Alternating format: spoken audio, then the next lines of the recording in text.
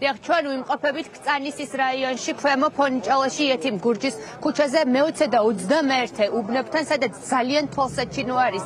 ქართული ოცნების აგიტატორების მობილიზება გარე პერიმეტრზე, საარჩევნო უბნებთან ძალიან ახლოს შესასვლელებთან არის გამოკრული ქართული ოცნების პლაკეტები, რაც შეგვიძლიათ რომ კადრებშიც იხილოთ, ასევე არის ქართული ოცნების დროშები, რაც მოგეხსენებათ რომ არის კანონით აკრძალული და საარჩევნო კანონით კანონმდებლობა კრძალავს ნებისმიერ აგიტაციასა და პროპაგანდას, თუმცა რაიმე სახის რეაგირება ამ დარღვევებზე ჯერჯერობით არ ყოფილა, აქ პერიოდულად ხსნიან და ისევ კიდებენ ქართული ოცნების დროშებს და ხედავთ კაცში, რომ მობილიზებულები არიან ასევე სავარაუდო აგიტატორები, რომლებიც ორგანიზებას უწევენ ქართული ოცნების ამომრჩეველთა მოყვანას ადგილზე. ჩვენ ასევე ვიყავით შიდა სივრცეში საარჩევნო უბანთან შენობაში, სადაც მიმდინარეობს კენჭისყრის პროცესი, შედარებით მშვიდ ვითარებაში იქ არიან ასევე საერთაშორისო დამკვირვებლებიც, რომლებიც აკვირდებიან საარჩევნო პროცესებს.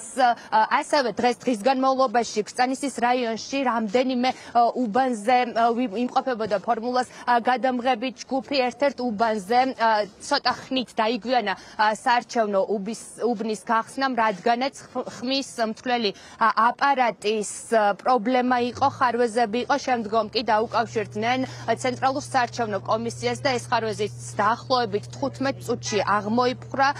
თქვენ ახლა კადრში ხედავთ შესასვლელ საარჩევნო უბნებთან, სადაც შედიან და გამოდიან ამომრჩევლები, აფიქსირებენ თავიანთ მოქალაქეობრივ პოზიციას. შეგიძლიათ ახლა იხილოთ კადრები, სადაც გარკვევით ჩანან სავარაუდოდ ქართული ოცნების აგიტატორები, როგორ აფრიალებენ ისინი ქართული ოცნების დროშებს და რას გვეუბნებიან ისინი ჩვენ ფორმულას გადამყრებ ჯგუფს.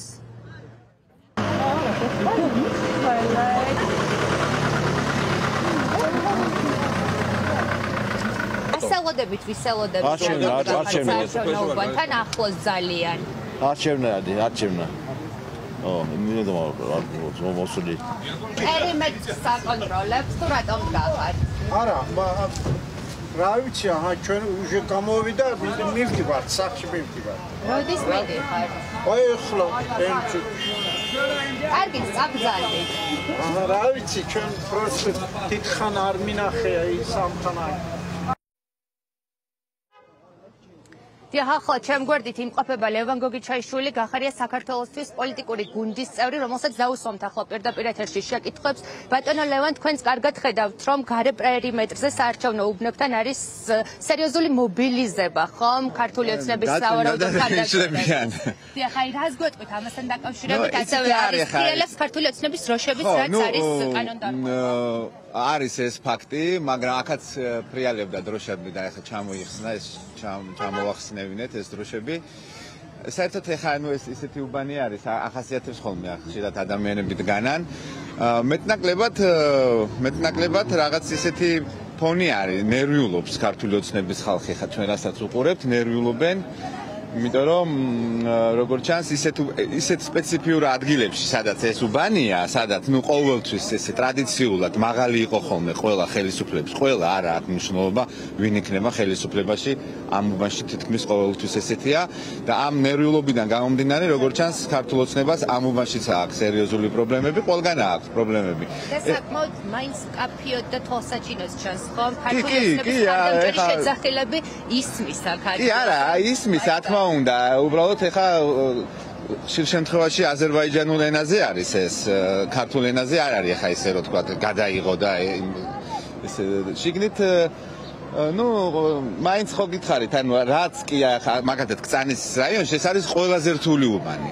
ყველაზე რთული უბანი, იმიტომ რომ აქ კონტროლის მექანიზმი დიდია, ეთნიკური უმცირესობა ცხოვრობს, ქართული ენაზე საუბრები, ქართული ენა ბევრმა აქ არიცის ყოველ შემთხვევაში და ყოველთვის ახაც პოლიციური კონტროლი უფრო დიდია, ის არის, ეს არის, მაგრამ მე დარწმუნებული ვარ, რომ ამ უბანზეც კი ქართულ ოცნებას ელის ძალიან სერიოზული სიურპრიზები, იქიდან გამომდინარე, რომ ძალიან ბევრი ადამიანი მოდის და ნუ ეს ისეთი აი, აქ იმხელა თქვა ნაკადი არის რომ ამის კონტროლი ფაქტობრივად შეუძლებელი არის თუნდაც ამდენი მობილიზებული ა, აქტივისტის მხრიდან მადლობა თქვენ უსმენთ ლევან გოგიჩაიშვილი ჩვენ ის እ, კიდევ შევესწარით აქ ըմ, ესეთ შემთხვევას, როდესაც ამ მრჩეველი შევიდა უბანზე, გაიარა მარკირების პროცესი, თუმცა მისი ბიულეტენი გაბათილდა, ის ისევ ითხოვდა ქართული ოცნების კოორდინატორმა შეიყვანა საარჩევნო უბანზე, რომ ხელმეორედ მიეცა ხმა, თუმცა ეს არ დაუშვეს და იყო მცირე დაპირისპირებაც